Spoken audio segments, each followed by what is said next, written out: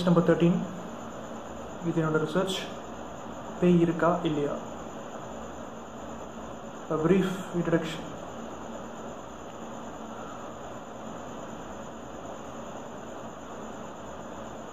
நம்ம செத்துட்டு அப்புறம் நம்ம உயிர் நம்ம ஆத்மா எங்கே போகுது? செத்துட்டு அப்புறம் நம்ம லைஃப் முடிஞ்சு போகுதா? இல்லை இன்னொரு லைஃப் ஆரம்பிக்குதா? ஆஃப்டர் டெத் அந்த கான்செப்ட் ஸோ சில பேர் நைட்டு தூங்கும்போது பேய் அமுக்குதுன்னு சொல்லுவாங்க. உண்மையாக பேய் அமுக்குதா? இல்லை ஆக்சிஜன் இன்சஃபிஷியன்சியா இல்லை டீப் ஸ்லீப்பா சில பேர் பேயை பார்த்துருக்கேன்னு சொல்கிறாங்க உண்மையாக பார்த்தாங்களா? இல்லை ஹாலுசினேஷனா மனநோய். கைண்ட் இதில் எது உண்மை? இது பொய். பேய் ஆவி இதெல்லாம் இருக்கா? இல்லை வெறும் கட்டுக்கதையா? இதுதான் நான் ரிசர்ச் பண்ணிட்டு இருக்கேன். ஐம் நியரிங் த எண்ட் என் ரிசர்ச் முடிய போகுது. லாஸ்டாக பேய் இருக்கா? இல்லையா அப்படின்றத பேய் இருக்கு அப்படின்னு சொல்கிற இடத்துல தான் நம்ம போய் பார்க்க முடியும். அங்கே போய் தேடணும் தேடணும் நமக்கு வேண்டியது தேடினா மட்டும்தான் கிடைக்கும். நான் தேட போகிறேன் ஸோ பேய் இருக்கிற இடம் அப்படின்ற ஒரு லிஸ்ட் எடுத்திருக்கேன். எங்கெங்கெல்லாம் யார் யாரெல்லாம் பேய் கதையில் கேட்டிருக்காங்க பேயை பார்த்துருக்காங்க haunted places most probably haunted places in சென்னையாக இருக்கலாம் தமிழ்நாடாக இருக்கலாம் கேரளா கர்நாடகா எங்கே வேணா இருக்கலாம். இதில் எல்லாரும் எல்லாரும் நம்பக்கூடிய அளவுக்கு இருக்கிற ஒரு இடத்த நான் சூஸ் பண்ணியிருக்கேன். அங்கே தான் போக போகிறேன் பேய் இருக்கா? இல்லையா? அப்படின்றத கண்டுபிடிக்க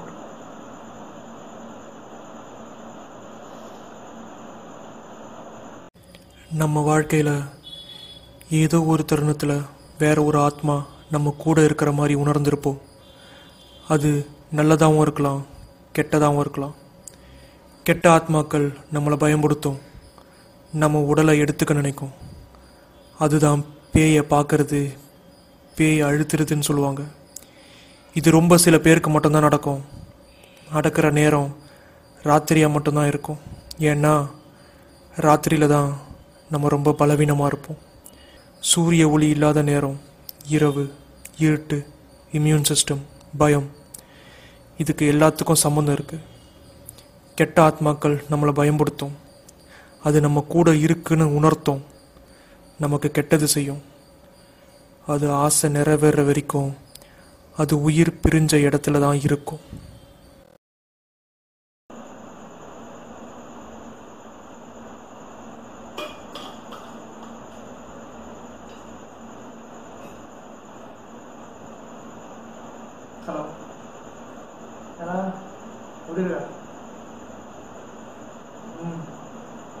சரி ஒரு ஒரு பிளேஸ் பார்த்துருக்கேன் நம்மளும் ஒரு ட்ரிப் போயிருந்தா ஆச்சு என்ன சொல்ற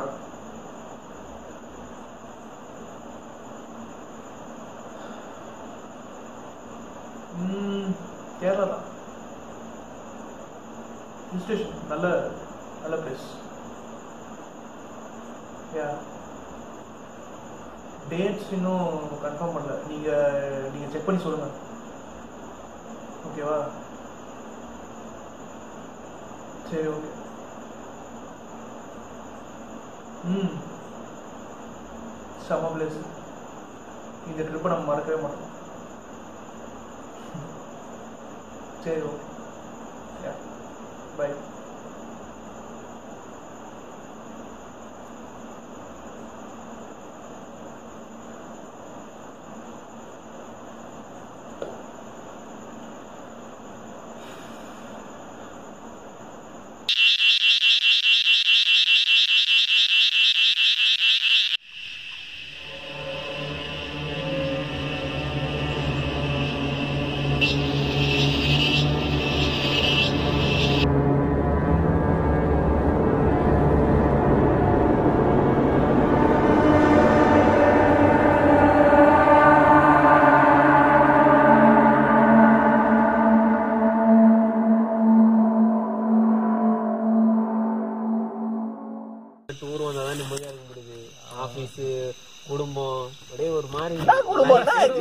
குடும்பத்திலே பக்கத்துல உட்காந்து கம்முன்னு உட்காந்துக்கிறேன். கல்யாணம் ஆயிட்டு அவனே ரெண்டு குழந்தை கல்யாணத்தை பத்தி பேசாதீங்க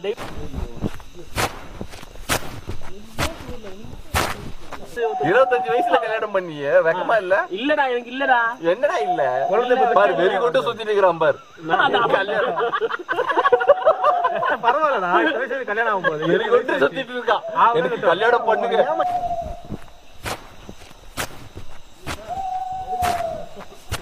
என்னடா யுவராஜ் பொண்ணு பார்க்க போனேன் என்னாச்சு? இல்ல மச்சான் எங்க அம்மா அப்பா தான் போனாங்க. அடுத்த வாரம் நான் என்ன கூட்டு சொல்றேன் தங்கச்சி ஏன்டா? அம்மாவோட பாக்கணும் நீ தானடா பாக்கணும் இல்லடா ஃபர்ஸ்ட் அப்பா அம்மா பார்த்தா தான் நமக்கு பிடிக்கும். இல்ல யுவராஜ் உனக்கு தங்கச்சி இருக்கு உங்க அம்மா பாக்க புச்சா போதுமா? பரவாயில்ல. உங்க அம்மா பாக்க புச்சா போதுமா? இந்த வயசுக்குள்ள எனக்கு பொண்ணு கல்யாணம் என்ன பண்ணுவேன்? பரவாயில்ல எனக்கு பொண்ணு வந்தா போதும். பொண்ணு பார்க்க போறியா ஆமா மச்சான். அதெல்லாம் நடக்கும்னு நினைக்கிறேன். என்ன நடக்க போகுதுன்னு தெரியல. நடக்க நடக்காது. சத்தியமே நடக்காது. அந்த பொண்ணு முன்னாடி யார் லவ் பண்ணுதோ எங்க இருந்ததோ யாரு கூட சுத்துதோ. மச்சான் அப்படிதான் என்ன மச்சான் பண்ணுவேன் இப்ப அந்த பொண்ணு வேற லவர் பண்ணிப்பல. வா, நீ உன் வேலையை பாரு நீ போய் பொண்ணை பாரு உன் பொண்ணை பாரு. காமெடி. அவன் பொண்ணை பாரு காமெடி ராஜேஷ். அப்படி நிறுத்திட்டு அப்புறம் சொல்லு. பாப்பா டைரக்டர் பாலா என்னப்பா பண்ணிருந்த உள்ள? டேய் உன்னதான்ப்பா. சீரியஸா இருக்கான் இங்க அவுட்டிங்க்கு ஜாலியா வந்தோமா நீ சோகமா சுத்தி நிக்கிற? டேய் என்னடா ரெசார்ட் இது? இவ்வளவு ஒரு மாதிரி அமானுஷ்யமா இருக்கு ஒரே லோன்லியா இருக்கு. என்ன ரெசார்ட் இது? அன்கம்ஃபர்டபுளாவே இருக்கு வந்ததுல இருந்து எனக்கு வந்து தலை சுத்திக்கிட்டே இருக்குடா. ஏன் சுத்தி இருக்கு.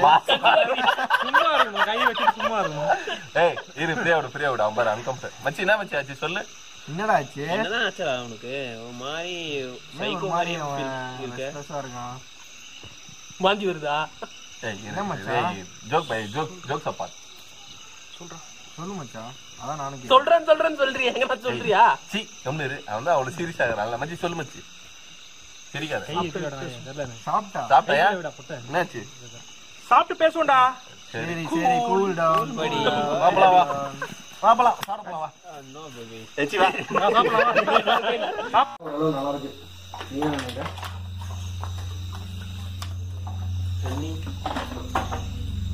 கவுரி பண்ணி ஏய்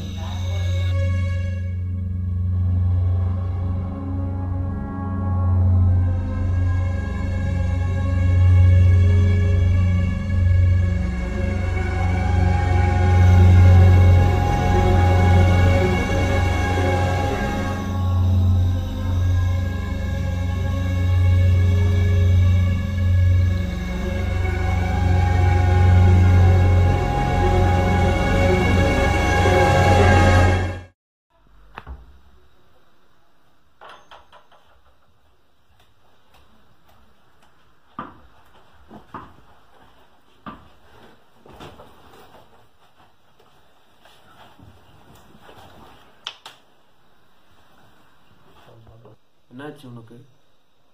ஏதோ சொல்கிறேன்னு சொன்னியே. சொல்கிறேன் கைஸ் நம்ம இந்த ரெசார்ட்டுக்கு வந்ததுக்கு ஒரு காரணம் இருக்கு.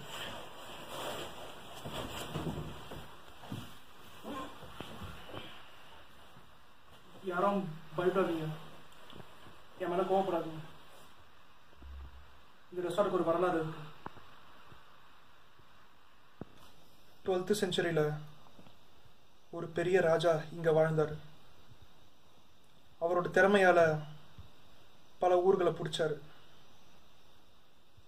ரொம்ப ரொம்ப செல்வத்தோடையும் பணத்தோடையும் சந்தோஷமாக வாழ்ந்துட்டு இருந்தார். ஆனால் அவருக்கு நிம்மதி இல்லை. அவருக்கு ஒரு பையன் இருந்தான். அவன் மனநிலை பாதிக்கப்பட்டிருந்தான். எந்தெந்தோ நாட்டுக்கோ போய் யார் யார்கிட்ட கேட்டு அவனை குணப்படுத்த ட்ரை பண்ணார்? ஆனால் யாராலுமே அவனை குணப்படுத்த முடியல. அவனுக்கு என்ன நோயினும் தெரியல. காலப்போக்கில் அந்த பையன் அவனையும் கஷ்டப்படுத்திக்கிட்டு சுற்றி இருக்க எல்லாரையும் கஷ்டப்படுத்திட்டு இருந்தான். உடலாலையும் சரி மனசாலையும் சரி.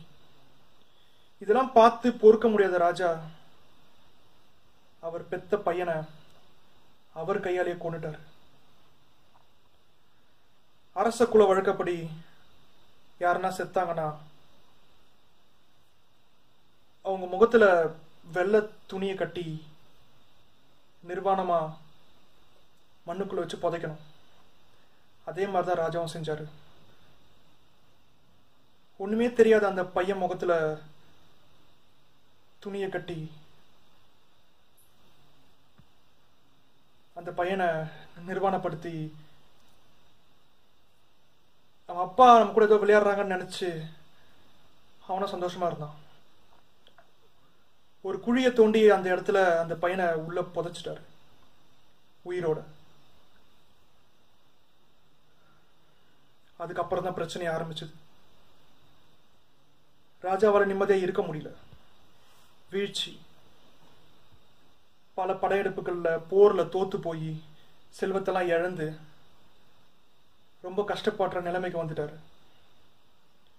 அவரோட சாம்ராஜ்யமே அழிஞ்சு போச்சு. அதுக்கப்புறம் தான் தெரிஞ்சது அது எல்லாத்துக்கும் காரணம் அந்த பையனோட ஆவி. ஊர் மக்கள் எல்லாம் பயந்து போய் அந்த இடத்துல என்னமோ இருக்கு அந்த பையன் உயிரோட தான் இருக்கான் அப்படின்னு பேசிக்கிட்டு இருந்தாங்க. அதுக்கப்புறம் பல வருஷங்கள் கடந்து போச்சு. எல்லா சாம்ராஜ்யமும் அழிஞ்சு போச்சு.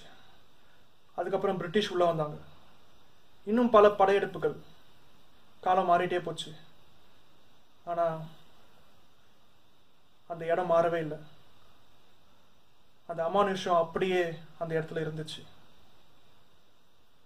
அங்கே இருக்கிற அங்கே இருக்கிற மக்கள் அந்த கிராமத்தில் இருக்கிற மக்களுக்கும் அங்கே வர மக்களுக்கும் ஒரு விஷயம் தோணுச்சு. அங்கே ஏதோ ஒரு மர்மமான ஒளி ஒரு சவுண்ட் சவுண்ட் ஃப்ரீக்குவன்சி அங்கே எல்லாருக்கும் கேட்டுச்சு. அது கேட்க முடியாத ஒரு பொறுத்துக்க முடியாத ஒரு ஒரு மன அழுத்தத்தை கொடுத்துச்சு. அந்த பையனை புதைச்ச இடம் இதுதான். இந்த ரெசார்ட்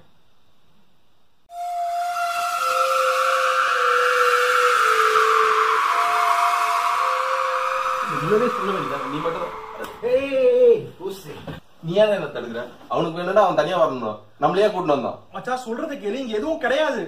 எதுவும் கிடையாதுன்னா அப்பயே நீ எங்களை கூட்டிட்டு வந்த. அப்பயே இப்ப சொல்லிட்டு இருக்க. நம்ம ப்ரூவ் பண்ணலாம். எங்க பேய் இல்லைன்னு ப்ரூவ் பண்ணலாம். ப்ரூவ் பண்றதுக்குலாம் நீ தனியா வந்துருக்கணும் எங்களே கூட்டிட்டு வந்த எங்களோட லைஃப் இது. எங்களுக்கு ஏதாவது ஆயிடுச்சுன்னா எங்க பெத்தவங்க என்ன பண்ணுவாங்க? இங்க எதுவும் கிடையாதுடா. கிடையாதுன்னா நீ தனியா இருக்க வேண்டியது எங்களை என்ன கூட்டிட்டு வந்த? அதுதான் எங்க கேள்வி. ஒரு நைட் நீ இந்த ரூம்ல இருந்து பாடுறா. சரி ஒரு நைட் வேண்டாம். At least one hour one hour இந்த தனியா இந்த ரூம்ல இருக்கு நாங்க பக்கத்து ரூம்ல இருக்கிறோம். அதெல்லாம் ரிஸ்க் வேணாம். ரிஸ்க்னா அவன் தானே கூட்டிட்டு வந்தான் நம்மள?